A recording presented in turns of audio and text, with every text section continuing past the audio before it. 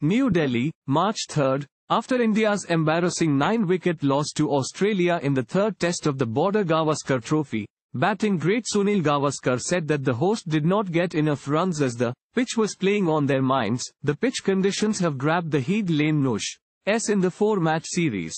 There were a lot of comments on the pitch for the Nagpur and Delhi test, which received an average rating from the International Cricket Council, ICC. Australia was beaten by an inning and 132 runs in the first test and lost the second inside three days by six wickets. However, India allowed Australia to claw back into the four-match series and make it 1-2 after a dismal batting display against the spin attack in the third test in Indore. In the first two matches, they did not get runs. Apart from Rohit Sharma in Nagpur, they did not get enough runs. When you don't get enough runs, there is just that little tentativeness in their batting, Gavaskar told Star Sports. They did not get enough runs. They were not able to go down the pitch as much as they should have.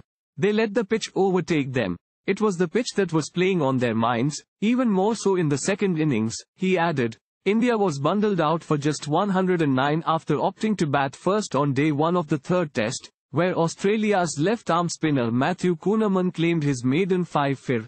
In the second innings of spinner Nathan Lyon completed his second eight-wicket haul in Test cricket to bowl out India for 169, setting a target of 76 runs and putting Australia on the verge of a victory in the third Test. Travis Head and Marnus Labuschagne slammed unbeaten 49 and 28 respectively to take Australia to a comprehensive 9-wicket win over India in the third test at Holkar Stadium on Friday.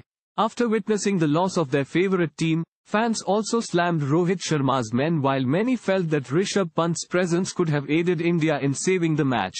A user wrote on Twitter, India trying to make extreme turning wicket in Indore vs Australia didn't end well, another fan said got over so quickly, like the movie finishing before the interval. We have been saying a lot that Indian players are very good against spin attack but is it really so?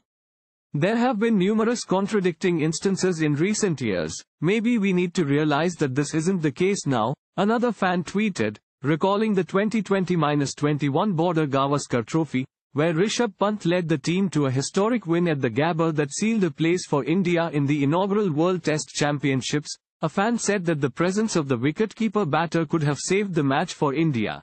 Rishabh Pant could have saved us.